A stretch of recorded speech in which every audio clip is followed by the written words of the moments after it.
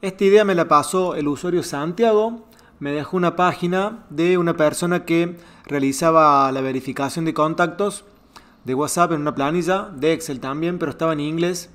Y el tema es que esta persona no enseñaba a hacerlo, sino que en realidad era una publicidad para que vos le compres su programa. Entonces yo me empecé a, lo empecé a ver, sobre todo porque Santiago me decía que no estaba en español, lo empecé a buscar y es verdad, nadie lo había hecho, no está este programa. Y digo, ¿cómo puede ser que, que nadie lo pueda resolver o, o, en realidad a nadie se le ocurre hacerlo? Así que bueno, me puse a investigar y más o menos di con la tecla y lo pude hacer. Bueno, y sin más rodeos, te voy a empezar a explicar cómo funciona el programa. Oye, oye, despacio, cerebrito. Esta es la interfaz que tengo del programa. Eh, la idea es que acá ustedes puedan poner los números de teléfono, que los pueden exportar como se los mostré en el, la serie de video de crear tu propio software, que te voy a dejar por ahí el link. Para que lo veas, vos podés exportar los contactos que tenés en WhatsApp, los pegas acá y después cuando pones verificar contactos el sistema va a, a, empezar a chequear si estos números que colocaste son válidos o no. Creo que te voy a borrar esto. Y acá tenés una configuración de tiempo que esto está bueno porque a veces cuando abrimos un contacto por primera vez en el WhatsApp demora. Entonces acá podés chequear sobre todo con tu conexión de internet cuánta demora te hace falta. A mí con una demora de un segundo anda bien porque esto ya lo he probado varias veces. Y acá les dejé unos números de prueba para que los coloquen y lo, y lo chequen. También pueden poner su propio número de teléfono. Así que bueno, acá yo le voy a dar a verificar contactos. Y mientras esto va a empezar a verificar todos los números que tengo en la tabla, ustedes se pueden ir suscribiendo al canal, le pueden poner me gusta. Todo eso hace que el algoritmo de YouTube promocione mi video y este canal pueda seguir creciendo, así yo le puedo llegar a más personas. Ahí van viendo que el sistema va trabajando hasta que termina y vuelve al Excel y me avisa que eh, ya ha terminado la verificación. Y hay un solo número que está inválido, que queda en rojo ahí con la leyenda de no válido. Bueno, el código no te lo voy a explicar mucho porque dejé comentada cada una de las líneas.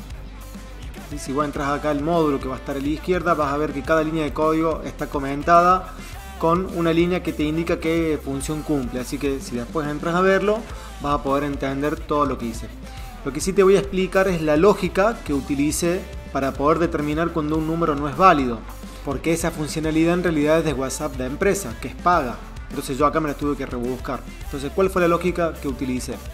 Básicamente lo que hice fue que cuando yo le doy a verificar contacto, intento ir a este número de teléfono en el WhatsApp, voy a ese número de teléfono, que acá es el Banco de Córdoba, ¿sí? sería este número, y le envío el mismo número de teléfono que está en la celda.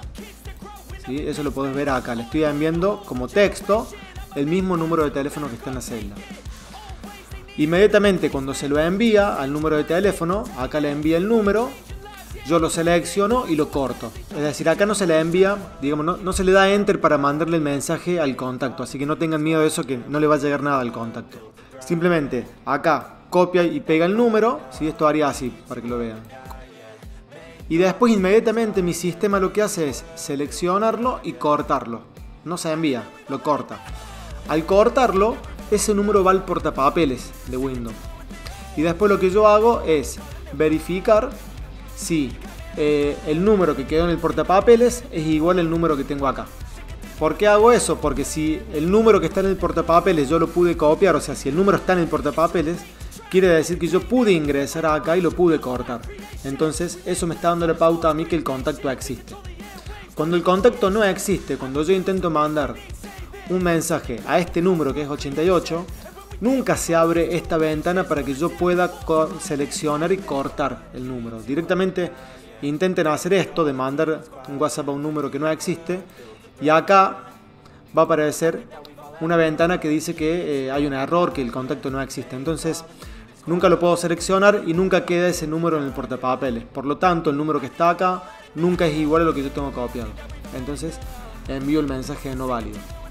¿Entiendes, verdad? Hmm, temo que no. Eso lo pueden encontrar todo comentarizado ahí en las líneas de código.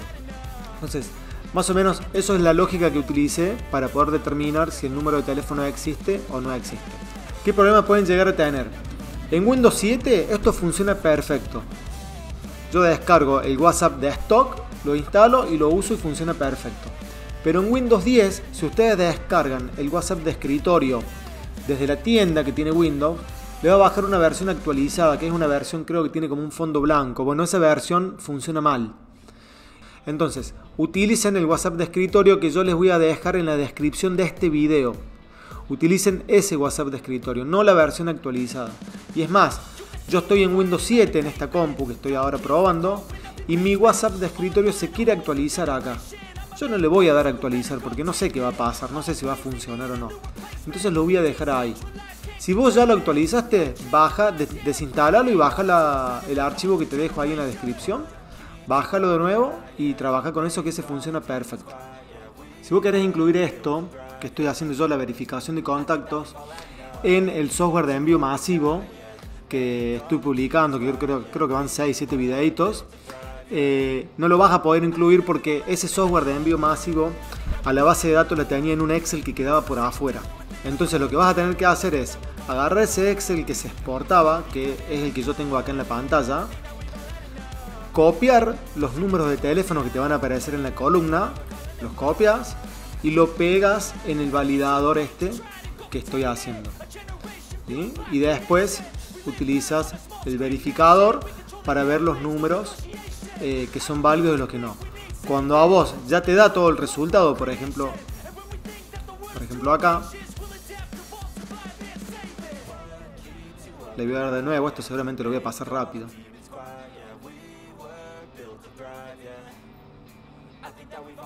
Ahí pasó, me volvió a decir que este número no es válido. Cuando a vos te da este resultado, lo que vas a hacer es filtrar Vas a ir a herramienta de tabla, le vas a poner acá que muestre el botón de filtro, herramienta de tabla, botón de filtro, y le vas a decir que no querés ver los no, los no válidos, no los querés ver, le sacas el tilde a no válidos.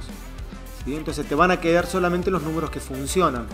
A estos los volves a copiar y los volves a poner en este archivo de contactos. O sea, borras esto que tenés acá y lo volvés a pegar acá qué hace estas cosas Excel? De verdad que no, me explico por qué me saco lo copio. Ahí está. Y lo pegas de nuevo ahí. ¿sí? Y este archivo es el que vos estás levantando en ese software de Access de esos videos que estoy publicando últimamente, que es donde te creas tu propio software y, vas pudiendo enviarle mensajes masivos con emojis, con datos adjuntos, con un montón de cosas. Yo de todas formas, esta planilla a esta planilla no te la voy a hacer programar, es un quilombo si te pones a programarlo. Tenés ahí la plantilla en la, en la descripción de este video para que lo puedas descargar, descargarla, descomprimirla. Y la clave para descomprimir es mi nombre, David Toscano, lo pones así todo junto en minúscula, lo descomprimís y lo empezás a probar.